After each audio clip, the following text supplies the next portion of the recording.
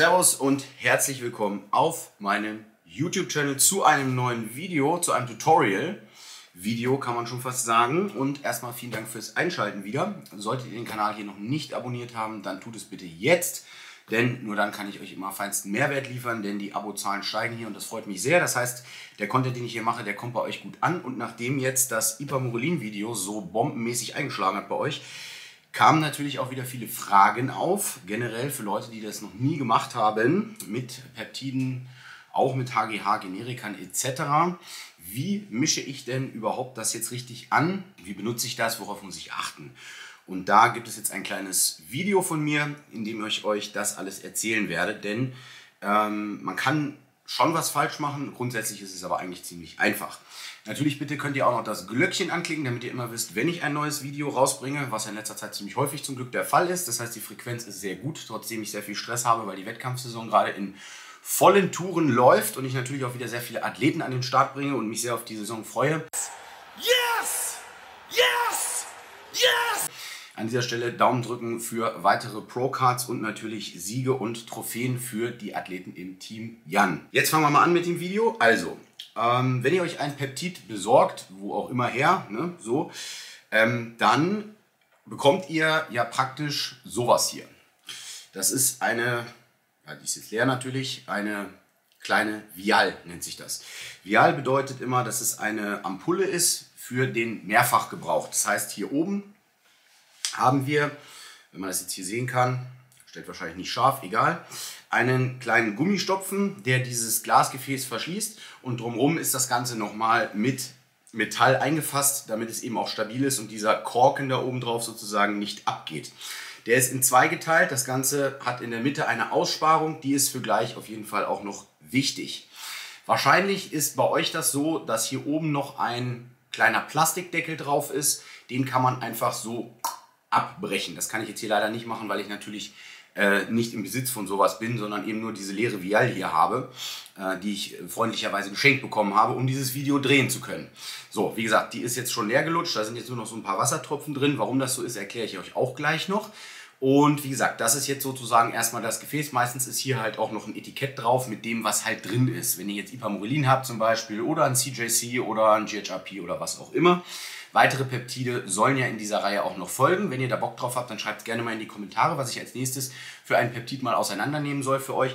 Es gibt ja auch noch sehr viele Sachen, die ihr wahrscheinlich gar nicht kennt, was man im Peptidbereich noch machen kann. Für zum Beispiel Konzentrationsfähigkeit, wenn man mal eine Prüfung hat für bessere kognitive Leistung, zum Beispiel auch für Libido. Es gibt auch viele Dinge, die da noch ordentlich boosten. Oder auch MT2 habe ich schon gehört, ist für viele interessant. Also schreibt gerne mal in die Kommentare, was ich da als nächstes noch machen soll. Grundsätzlich könnt ihr diese Peptide natürlich alle erstmal ungefähr gleich verwenden, denn in dieser Vial wird, egal was ihr euch für ein Peptid kauft, ein Pulver drin sein. Dieses Pulver ist dann der Wirkstoff. Mit einem Pulver, das könnt ihr natürlich mit so einer Spritze hier nicht aufziehen, das funktioniert ja nicht. Das heißt, wir müssen das Ganze erstmal flüssig machen. Also der Wirkstoff, der da eben nun mal in kristalliner Form drin ist, muss sich jetzt erstmal lösen und dazu braucht ihr eine Flüssigkeit. Die wird in manchen Fällen tatsächlich sogar mitgeliefert. Das heißt, wenn ihr euch was Hochwertiges kauft, zum Beispiel auch ein hochwertiges HGH kauft, auch wenn das äh, keine Apothekenware ist, in der Regel ist es manchmal so, also Generika, Generika sind immer so nachgemachte HGHs sozusagen, die funktionieren genauso, ist nur halt keine Apothekenware, meistens aus dem Raum Asien oder so, das funktioniert aber. Äh, könnt ihr auch einfach testen, wie man HGH testet, wisst ihr hoffentlich. Wenn nicht, dann schreibt es auch nochmal in die Kommentare, aber grundsätzlich ist das auch nicht so schwer. Kann es sein, dass hier auch eine Injektionslösung schon mitgeliefert wird? Das ist in der Regel bakteriostatisches Wasser oder Kochsalzlösung, also sprich NaCl. Ich persönlich bevorzuge NaCl, weil die Haltbarkeit bei NaCl etwas besser ist. Es ist einfach so, früher habe ich das nicht gewusst. Ich habe jahrelang selber bakteriostatisches Wasser dafür benutzt. Es hat wunderbar funktioniert. Hat halt nur Gründe, dass das NaCl, wenn ihr das halt im Kühlschrank aufbewahrt und ihr habt halt so einmal Brechdinger, die zeige ich gleich noch, dann ähm, ist es natürlich irgendwie steriler, sofern man hier von Sterilität überhaupt sprechen kann, als, als das bakteriostatische Wasser, also das NaCl. Gut, ähm, das ist jetzt wie gesagt Pulver in einer Vial, muss gelöst werden. Jetzt haben wir ja auch noch eine Milligrammangabe da drauf. Da gibt es jetzt zum Beispiel, wenn ich Ipamorelin nehme, manchmal 2 Milligramm pro Vial, manchmal 5 Milligramm pro Vial. Es gibt auch 10 Milligramm pro Vial. Das ist allerdings ziemlich selten bei Ipamorelin, also eher 5 ist so die maximale Grenze eigentlich von dem, was ich so kenne.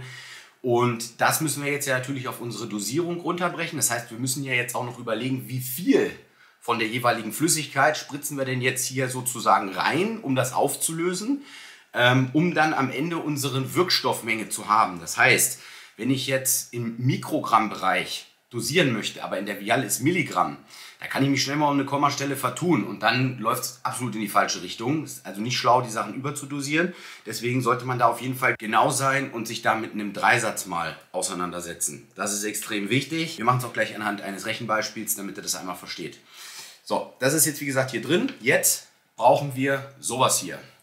Das hier gibt es einfach bei Amazon. Wenn ihr da eingebt bakteriostatisches Wasser oder im Optimalfall, also ich habe jetzt hier nur bakteriostatisches Wasser, ist auch schon abgelaufen, sehe ich gerade. Nee, läuft jetzt gerade ab. Ähm, und ich brauche es ja eh nicht. Aber äh, wenn ihr das kauft, ist es natürlich nicht abgelaufen, logischerweise. Ähm, einfach bei Amazon bakteriostatisches Wasser eingeben oder noch besser Kochsalzlösung eingeben. Ihr könnt dann, meistens wird euch bei Amazon auch direkt schon vorgeschlagen, irgendwie 5 Milliliter 10 Mal oder sowas. Wenn ihr das anklickt, dann kriegt ihr sowas hier. Das ist ein Karton, da sind diese Fläschchen drin, die sind aus Plastik. Die könnt ihr oben abbrechen. Das machen wir jetzt auch gleich mal zusammen. Das heißt, hier ist so eine Sollbruchstelle. Wenn ich das jetzt hier drehe oben an diesem Hahn, knack, dann geht das auf. Und jetzt ist es offen sozusagen. Das heißt, jetzt äh, würde das hier auch rauszucken, wenn ich das jetzt umdrehe. Ne? Also wir haben hier oben eine Öffnung wie in so einer kleinen Flasche. Das Ganze ist allerdings nicht wieder verschließbar.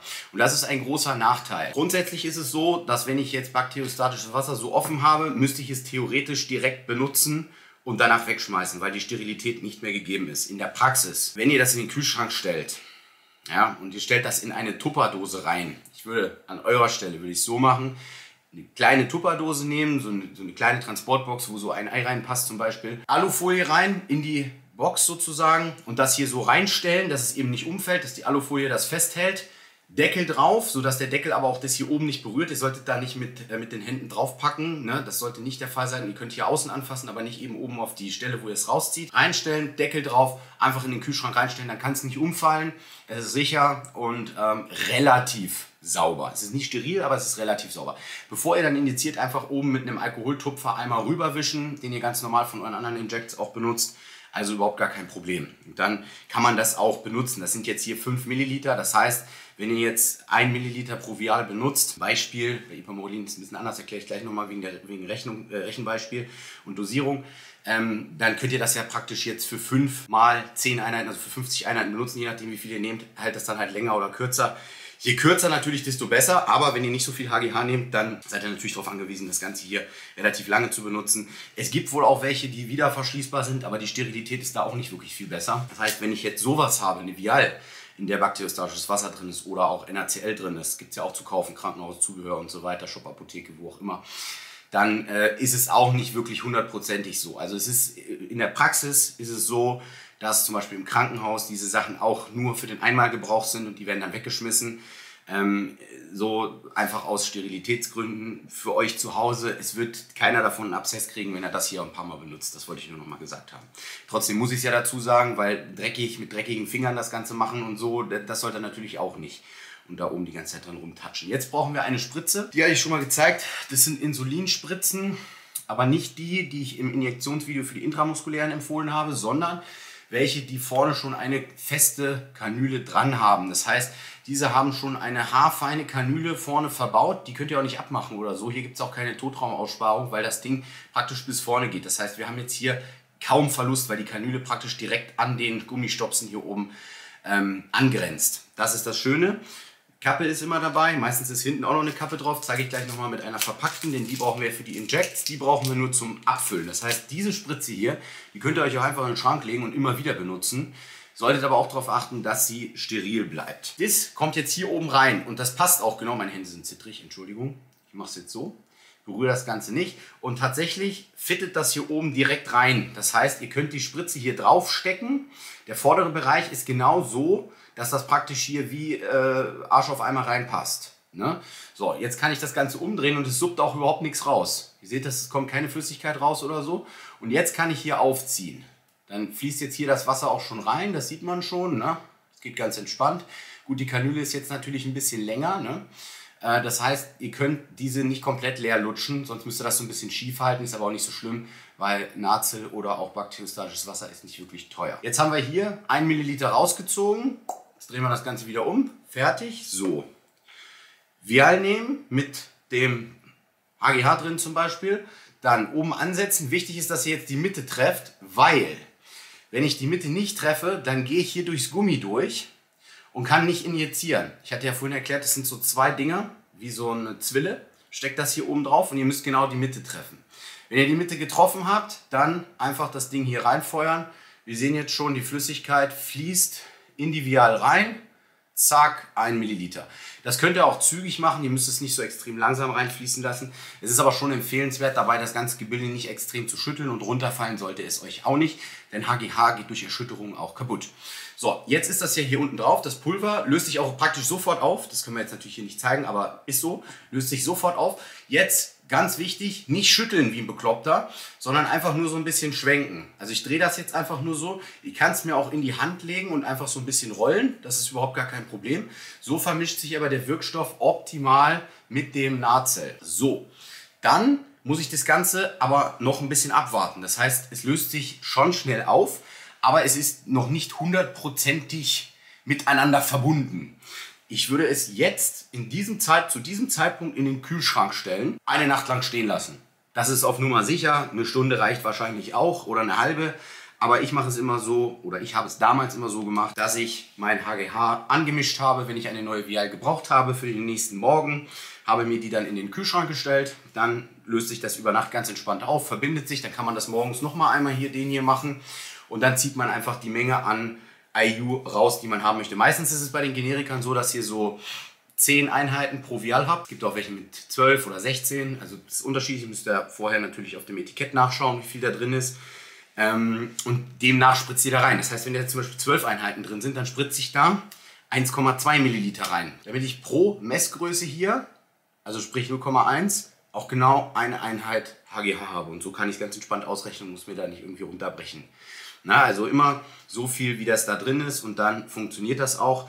Ansonsten bei 10 dann natürlich 1 Milliliter, bei 16 1,6 und so weiter. Das ist, glaube ich, für jeden verständlich. Dann könnt ihr das im Kühlschrank lagern. Ihr müsst es auch im Kühlschrank lagern. Jetzt kriege ich natürlich auch oft die Frage, wie sieht das denn hiermit aus? Muss das auch die ganze Zeit im Kühlschrank sein? Hatte ich ja gerade schon gesagt, am besten in dem Alufolie, in dem Gefäß. Funktioniert am besten, dann bleibt es auch schön kalt. Und wenn ihr es anmischt, dann ist es halt auch schon kalt. Das ist auch sinnvoll. Und generell das Pulver, das müsst ihr allerdings nicht unbedingt kühlen. Das ist sowieso gefriergetrocknet. Ihr könnt es kühlen. Ich finde es auch sinnvoll, gerade jetzt im Sommer sollte es jetzt nicht irgendwo in der prallen Sonne liegen, das ist schon nicht so schlau. Ähm, es ist nicht nötig, dass ihr es kühlt, aber ihr könnt es jetzt zum Beispiel so machen, dass ihr das, was ihr eben nicht braucht zum Anmischen, wenn ihr einen kleinen Vorrat habt, ähm, halt das Ganze irgendwo lagert, wo es halt kühl und trocken ist. So, dunkel, dann ist immer die Haltbarkeit besser bei solchen Medikamenten. Medikamenten. Ähm, ansonsten wenn es angemischt ist, muss es auf jeden Fall gekühlt werden. Am besten den Kühlschrank auf 5 Grad einstellen. Da seid ihr mal auf der sicheren Seite, dass es auch kalt genug ist. Und dann funktioniert das. So, aus dieser Vial kann ich ja jetzt immer wieder rausziehen. Das heißt, ich nehme mir natürlich zum Injizieren nicht die olle Spritze, die ich immer zum Reinfüllen nehme, sondern ich nehme mir da eine neue sterile Spritze. Das Ganze jetzt auf. So, die sieht jetzt so aus. Das heißt, hier ist die Nadel ja auch noch nie benutzt. Hinten ist auch noch eine Kappe drauf. Die kommt einmal ab. Und dann kann ich damit arbeiten. Ich kann jetzt das aufmachen. Wichtig ist jetzt auch mein Tipp an euch. Entweder ihr benutzt die Spritze nur einmal oder ihr zieht gleich die Menge, die ihr für den ganzen Tag braucht, auf. Stochert nicht ewig oft in dem Gummi rum, weil jedes Mal wird die Kanüle stumpfer und das produziert mehr Narbengewebe in euren Injektionsstellen. Das heißt, wenn ich jetzt für einen Tag zum Beispiel sechs Einheiten brauche, dann ziehe ich jetzt hier auch schon direkt, das fließt hier richtig schön rein. Bei eurem Wachs wird es im Übrigen länger dauern. Wenn der Wirkstoff mit dem Nazel verbunden ist, dauert das Aufziehen von HGH extrem lange. Es fließt sehr langsam in die Spritze, macht euch da keine Sorgen, Qualitätsunterschiede gibt es da nicht. Das heißt, wenn es langsam reinfließt, also Qualitätsunterschiede gibt es natürlich schon, aber es ist kein Merkmal für einen Qualitätsunterschied, wenn es langsam reinfließt. Im Gegenteil, das ist genau richtig. Jetzt habe ich äh, hier 0,6 aufgezogen Milliliter. Jetzt habe ich hier oben natürlich noch einen kleinen Totraum. Das heißt, ich ziehe etwas mehr auf, weil ich eine kleine Luftblase habe. Absetzen, zack. Einmal klopfen, zack, aber nicht zu doll. Bisschen die Luft raus. Jetzt kommt der erste Tropfen. Und ich bin genau bei 0,6. Jetzt mache ich hier meine Kappe drauf. Dann habe ich für euch noch einen Tipp, weil ihr werdet das über den Tag natürlich mitnehmen müssen. Das heißt, die ersten zwei IU fliegen morgens rein, das ist kein Problem, die Spritze ist im Kühlschrank. Aber wenn ihr jetzt vom Training die zweiten zwei IU nehmt und dann vielleicht nach dem Training die dritten zwei oder vorm Schlafen gehen oder wie auch immer, ihr seid unterwegs, dann müsst ihr diese Spritze ja mitnehmen. Es gibt für Diabetiker extra Insulin-Kühl-Etuis. Wir haben das äh, Kühl-Etui in der Infobox unten verlinkt. Das ist eins, was ich damals selber auch benutzt habe. Da sind kleine Gel-Kühl-Akkus drin. Die könnt ihr einfach mit in den Kühlschrank, ihr könnt das komplette Etui in den Kühlschrank packen. Ist überhaupt gar kein Problem und dann ist das schon direkt kühl. Oder ihr habt halt nur die Kühlakkus im Kühlschrank und das Etui halt daneben. Ich habe immer das ganze Etui einfach in den Kühlschrank geballert, ist ja scheißegal. Da könnt ihr die Spritzen reinstecken, da gibt es sogar extra wie so eine kleine Vorrichtung, wo man halt die reinstecken kann und dann kann man die ganz entspannt mitnehmen. Wenn man auf der Arbeit jetzt einen Kühlschrank hat, dann haut man das ganze Etui da rein und sagt, da ist mein Insulin drin, ich bin Diabetiker, buff, zack, easy, fragt, stellt keiner mehr eine Frage. Ähm, ansonsten hält das Ding auch kühl. Das heißt, wenn ihr jetzt auf einer Autofahrt seid, bis zu sechs Stunden ist das da drin immer noch safe kühl. So, das nochmal als Transporttipp und diese Spritze kann ja dann mitgenommen werden. Dann kann ich immer so viel injizieren, wie ich brauche und danach schmeiße ich an so einem Tag einfach diese Spritze hier weg und nehme dann den nächsten Tag wieder eine neue. Jetzt sind hier natürlich noch vier Einheiten drin. Ja, so, das heißt, für die nächsten sechs müsste ich dann schon wieder die nächste Vial anmischen, aber das ist ja soweit klar. Wenn ich jetzt ein Ipamorelin habe mit 5 Milligramm und ich will 250 Mikrogramm nehmen, dann empfiehlt es sich natürlich, weil das eine einfachere Rechnung ist und weil es auch einfacher auf diesen Spritzen hier aufzuziehen geht, einfach 2 Milliliter da reinzuballern. Das heißt, ihr müsst wieder einfach ein bisschen schlau sein, ein bisschen um die Ecke denken, ein bisschen Dreisatz machen.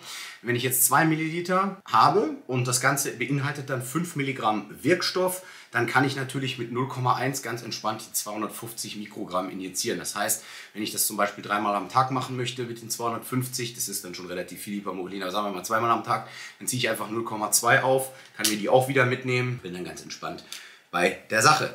Also bei Peptiden muss man das immer ein bisschen runterrechnen dann. Das ist genauso auch, wenn man zum Beispiel auf diese Art und Weise Insulin bekommt, obwohl ich da eigentlich immer von absehe, weil in der Regel die normalen Novo- oder Humalog-Pens ähm, im Original als Apothekenware überhaupt nicht teuer sind. Und dementsprechend braucht ihr euch da eigentlich kein irgendwie asiatisches Insulin kaufen, was ihr selber anmischen müsst oder so. Also da von solchen Sachen sehe ich dann immer so ein bisschen ab. Da sage ich dann immer, nee, ähm, ist in der Regel so gut verfügbar, dass man da nicht unbedingt auf sowas zurückgreifen muss. Das heißt, da müsst ihr es nicht unbedingt ausrechnen, obwohl es bei Insulin halt extrem wichtig ist, natürlich richtig auszurechnen.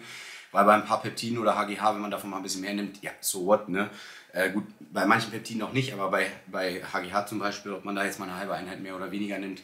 Äh, es gibt auch Leute, die haben gedacht, es ist eine Einheit und haben sich zehn gefeuert. Dann sind die Hände mal ein bisschen taub, das zieht mal ein bisschen Wasser. Aber war dann halt ein teurer Spaß, ist aber nicht wirklich lebensbedrohlich. Bei Insulin sieht es halt anders aus, deswegen da muss man definitiv genau rechnen. Ansonsten, wie gesagt, Dreisatz, wer das dann nicht kann, der ist es, der sollte das vielleicht auch nicht nehmen.